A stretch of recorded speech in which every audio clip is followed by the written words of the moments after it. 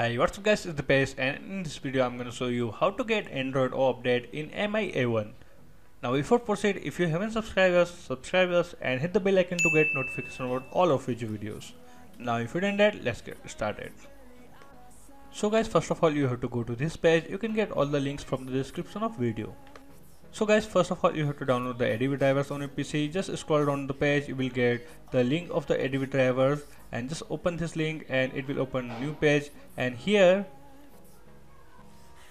you have to find a link for drivers and just download it and install it on your device. I already downloaded it and install it on my device but I'm going to show you again. You just have to double click on ADB setup file and it will open a command window. Here you have to type y y y and y means yes and for no. And you just have to simply type y and press enter. It will start installing the ADB drivers on your PC and once it's done now go to again the same page.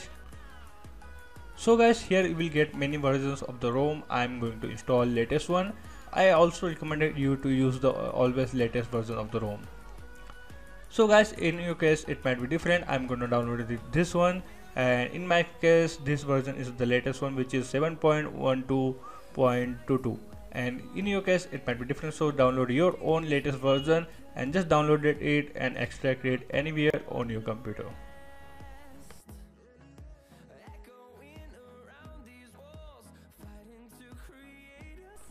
so guys before proceed i recommended you to make a backup of your data because uh, in this case you might be lost your data so just make a backup of your data. So guys once you make a backup of your data then go to settings then go to about phone then tap 7 times on the build number you will get a developer option in settings menu. Now go to developer mode and enable OEM unlocking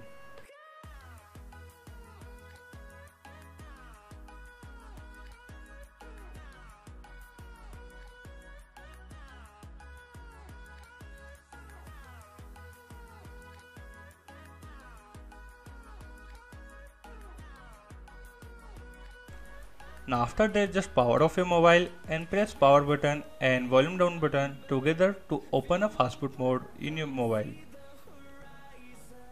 Now once your fastboot mode is open, now connect your mobile with your computer by USB Type-C cable and go to your extracted ROM folder and inside the ROM folder you will get all this file.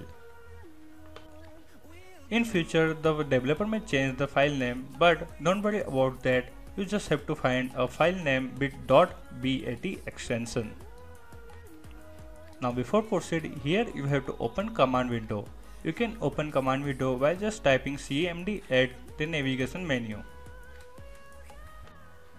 Now here you have to unlock the bootloader of your device. Now if you already unlock your device, then you don't need to follow this step again you just have to type the fastboot OEM unlock and it will unlock your device. Now if you want to check your device is unlocked or not then just type fastboot OEM device dash info. It will tell you the device is unlocked or not. If it already unlocked then just skip this step. Now once you're done with that now go to same folder again and run the .bat file. It will ask you to connect your mobile in fastboot mode and our mobile is already connected so just hit enter button. Here you will get three options to install ROM on your device. The first one says that it will install ROM without wiping your data and also without relocking your bootloader. The second one says that it will install the ROM by wiping your data and also without relocking the bootloader. The third one will wipe your data and also relock your bootloader.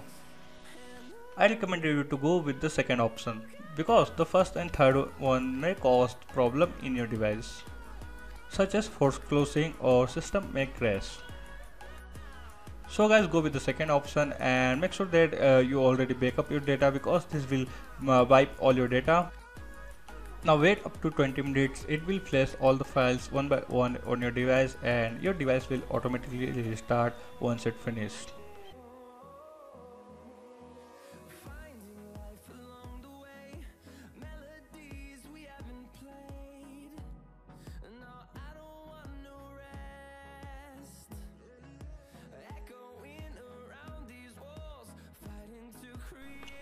Here the first major changes that I see that you will get the notification dot feature.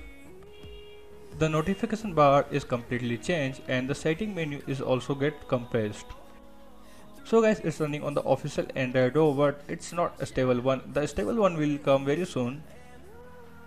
So guys I haven't checked all the things in this ROM. Later I will make a review video on that. Later I will make all the videos on the MI1. So guys I will make a complete playlist about MI1 such as how to install stock ROM in this, how to install custom ROM and all those videos. So, so guys that's it for this video. Like the video hit the notification bell to get notification about all of future videos. And if you are watching first time our channel then do subscribe. It's motivate me to make a videos for you. So guys it's Dipesh signing out. Meet you soon in next video